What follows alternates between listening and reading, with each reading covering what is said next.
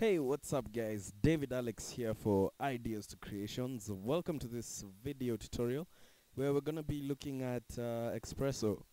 Um, I'm planning on doing like a thinking particles thing and I think the best thing to do at first is to give guys a walkthrough of how Xpresso works so that once we get into thinking particles we can start doing some rather complex stuff and we don't have to worry about uh, learning how Xpresso works.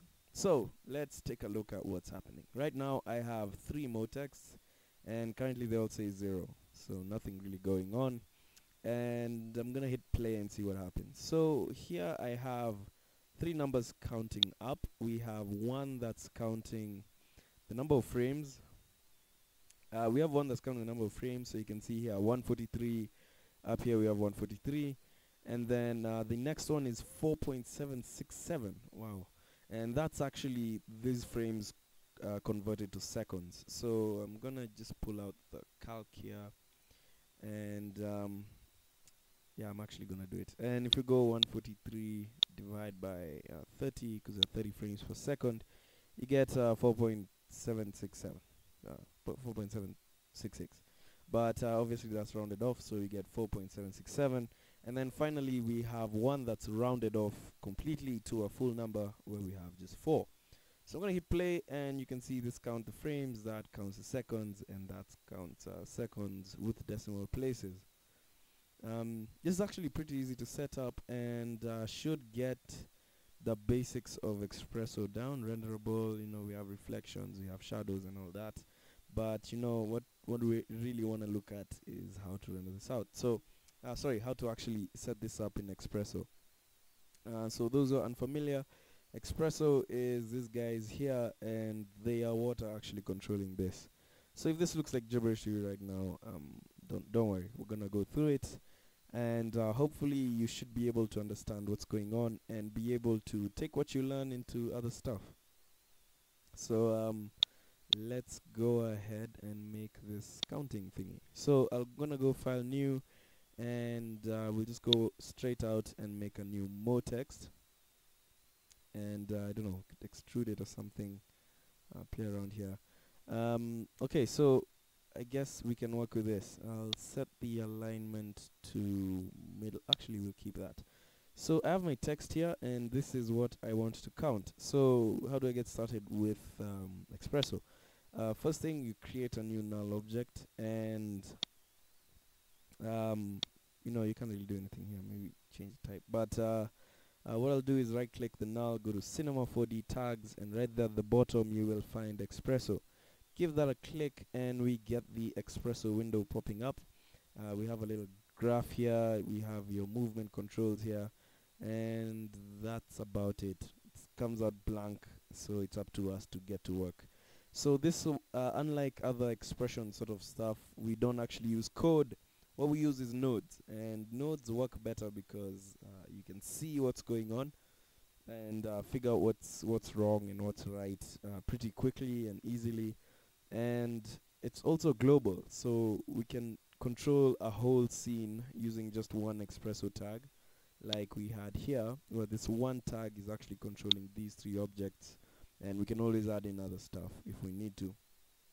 Okay so here we are in this Xpresso uh, tag and we're gonna start creating some nodes. So uh, what we need first is a time node and time node basically outputs the time. And uh, don't worry not not not skipping anything we're gonna get to that. So uh, there's two ways of adding nodes. Uh, we could right click and go new node and then there's a bunch of groups. So you could go Xpresso and then calculate and then pick whatever you need. But I don't like this system mainly because when you're adding a whole bunch of stuff uh, you have to keep right click and uh, so I, I tend to use the expool section. Usually by default you're in X manager which shows all the nodes inside your your setup. And expool is basically all available nodes. So this works a bit better for me. So we go into system operators Xpresso and then uh, we'll we'll go into general. I think it's general. And you have this whole bunch of stuff here but what we're interested in is time so let's bring out time uh, let's drag this out here and there we go so our node has two sections. One is this side, which is the red side, which is output, which means that this node is giving out information. And then the blue side is input, which means it's receiving information. Simple enough, yes? Yes, it should be, because, uh, you know, doesn't get any simpler than that. Uh, so let's take a look at uh, how we're going to work with this text. How we're going to tell it the time. So in order to bring in an object into this area so that it can be used for calculation, uh, pretty straightforward, I'm sure you already figured it out. It's to grab the object, drag it in here, there we go, MoText And uh, it comes in empty because you usually have to, see if we can grab a corner here, there we go. Uh, you usually have to add your own ports, uh, they're called ports by the way, you have to add your own input or output ports because it really depends on what you're planning to do. So right now we have time and it comes this side here ready to be output and we need to tell it to go to the MoText. So before we start looking at um, setting up the text section, let's look at how we can use time to affect the position of this. So if you go to the blue corner there, give it a single left click, you can go to coordinates, uh, let me move this over, uh, we can go to coordinates, global position and choose global position Y. And then uh, we get a port here. This time it's on the blue side which means MoText is going to receive information. So whatever we tie this to global position is going to be that value. So grab this connect it there and I'm fairly certain this is not going to go as planned but let's see. Play oh wow it really is working. Uh, if we zoom in here really close you can see it's kind of moving up extremely slowly but uh, if you go to coordinates you can see it's moving. It's moving but it's moving really really slowly. But it's working so that's pretty good. And I like how you can see here live while it's playing what's actually happening. So uh, that's pretty much how you set it up. That's how you tie it. Obviously now we can't actually set a value here anymore because Xpresso takes over. So gonna unlink this uh, right click on the blue port and choose delete port. And now we need to tell it to refer we need to connect it to this text here. And we can't actually like drag this out. That doesn't work that way. What we need to do is find it in this menu. Now this menu is usually easy to navigate because you have all which is axis and transform stuff. And this is position scale and all those fancy things. And then you can go into basic properties which is this basic section here coordinates is this coordinate section caps and rounding is this here. You know so everything's pretty straightforward. And then object is just to output the object itself which we'll look at a bit later. But um, uh, global matrix is totally other thing. So we have scale position stuff here in coordinates. But what we're looking for is object text. So we'll go to object properties. Down there you find text. So let's see here. Uh, object properties object properties and text. So basically if you look in the attributes manager you can know exactly what you're looking for. So object properties text and then if we take this uh, this guy here and tie him to the time bam um, we can select MoText here and you can see 2.4 so immediately we know uh, what's going on. Click play and we have the time. Now obviously time is rounded off to the second. So you can see here when we get to 30 because we're using 30 frames per second you'll see that it's one. So one second and then we have uh, some uh, in between stuff. Go to 60 it's 2 so we pretty much have the first text set. So I'll move that up and we can create the next one. So the next one's going to be the rounded off one. And you'll notice all we've done is actually just connected that. So uh, like I said it's pretty easy to use. So let's look at the next one which is um, the rounded off one? Uh, should it be the rounded off one? No let's look at the frames one. Yeah frames should work better. So what I'll do is copy this. So we can hold down control drag drag this down. Uh, let's see.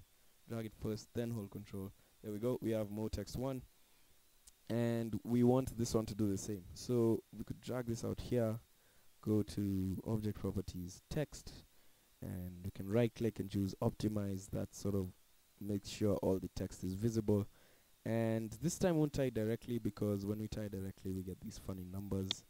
And uh, we can also move this down. I hope it's the right one. Uh, MoText 1 was the funny one. This was rounded off.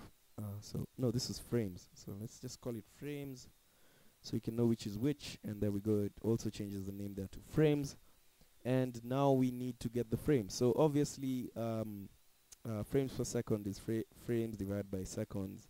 So if you want to get frames you have to do uh, frames per second times seconds. Yeah makes sense. So uh, sorry about that. Uh, so if you go to calculate section you have uh, math add. So we'll bring out math add. And uh, math add is actually what we're going to use to multiply. So if you select math add in the attribute section function we can change this to multiply. And then input one will be the time. So that's pretty easy. We can connect multiple stuff. And input two uh, we kind of have two options. We can either define it here in the attributes or we can add a node for it. So let's look at how to do it with a node because that's pretty easy. So if you go general you can get the constant node and then connect that there and in the constant we're gonna give a value of 30 which is our current frame rate. And then we'll go to math multiply output and connect that to the text. So I hope that has made sense. Uh, what we're doing basically is taking the time and then multiplying it by this constant which is 30 and if our math is correct then that should give us the number of frames. So let's see if it works. Obviously it's not updated yet but if you go down one frame there we go. We are currently frame 39 there we have 39 so click play. Awesome. And there is our seconds. So that's that's pretty cool. Uh, I like how it's working. So um, that's working out. Uh, I'm gonna move this down a bit. And then uh, let's see. Pause. And let's make another copy. So I'm gonna take MoText 1 hold down control drag it down and then select the object and move it up. And this time we're gonna round off this value. So go to Xpresso again. Uh, ex window or you can double click here to show it again if you closed it. And we can add more stuff. So I'm gonna move this here and move this here. And uh, okay so we take this guy here and optimize. And uh, we're gonna use another set of uh, nodes here. And uh, that one is actually the uh, sorry calculate absolute. Absolute and absolute basically rounds off stuff. Simple enough. So gonna take this uh, object properties text and output goes there input goes to time. So things gonna get a bit cluttered so we can move these here and maybe move time there. Or you can even make another time and just connect you know everything works out. So have your absolute connected there uh, output goes to this guy. So we can immediately press play and nothing's really happening. And uh, that's because in the absolute uh, by default what it does is it takes a negative value and makes it positive or if the value is already positive it keeps it positive. So that's not what we want. What we want is to round off. So if you come here to if you select it go to data type inside the attributes change this to integer which is basically a full number. There we go. So 0 1 uh, same as this 2 and so on. There you have your frames and uh, you're pretty much done uh, you know now it's just a matter of adding a floor adding a sky blah blah blah and uh, textures and then you hit render and you're good to go. So how about we add uh, something more interesting. Um, I want these guys as a group to move in the x-axis, basically in this direction, as their values increase. So let's go ahead and do that. So should be interesting. Uh, I'm gonna select the three and group objects, and I want this null to move rather than uh, sort of forcing all of them to move uh, at once.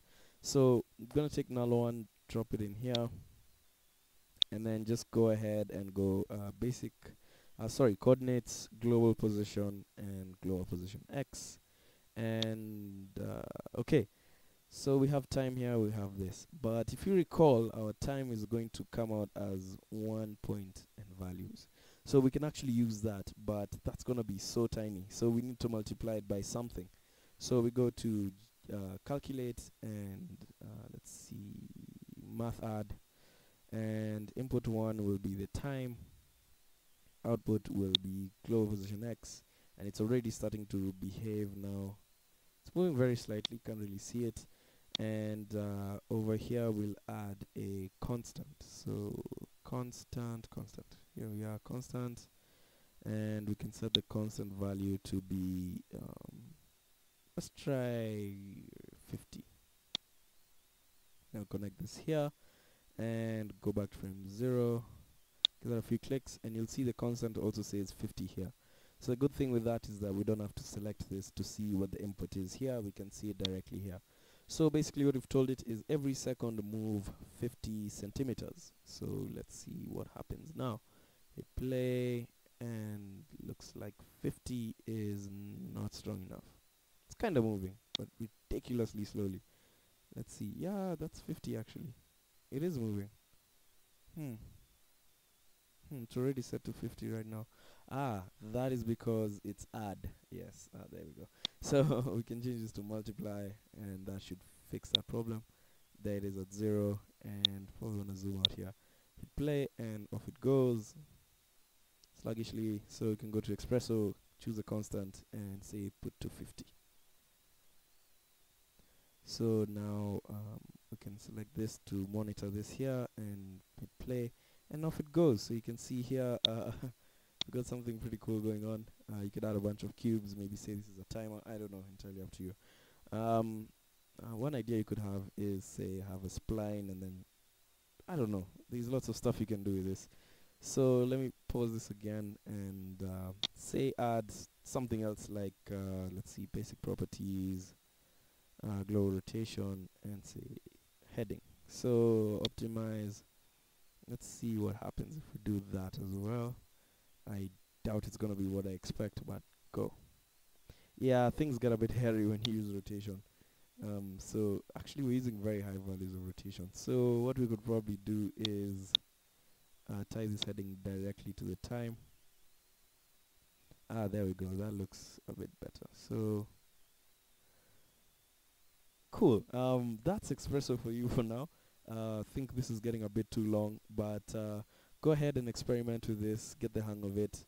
Um, learn what other nodes do. Uh, what you can do is select an object like math multiply and over here you can right click and choose show help your help guy will pop up and explain math node performs math operation blah blah blah go to node and see the different functions you have uh, if you stay in content you can also check out what other nodes do there's plenty of them you can add formulas and wow it's really powerful really easy to work with. But uh, for now I guess that's it from this video tutorial and I'll see you in the next one